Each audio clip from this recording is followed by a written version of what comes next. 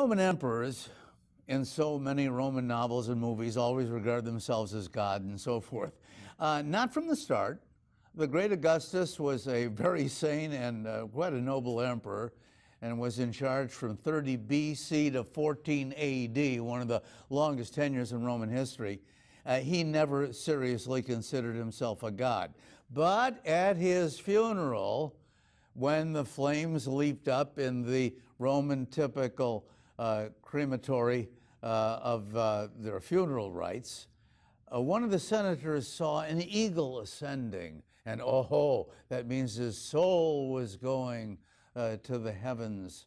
And this is the beginning of the cult of Divus Augustus. And he was then canonized later on by the Senate. He didn't think he was a god, but the Senate did think.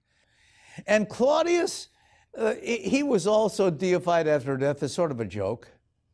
And so nobody really took the emperorship seriously until Domitian. He's the one who caused John to go to Patmos in terms of fleeing from the second great persecution of the church. And he called himself Dominus et Deus, uh, Lord and God. Only he meant it. And so from that point on, if you were a good emperor, the Senate would usually vote you deity uh, at the end of it, end of your uh, reign.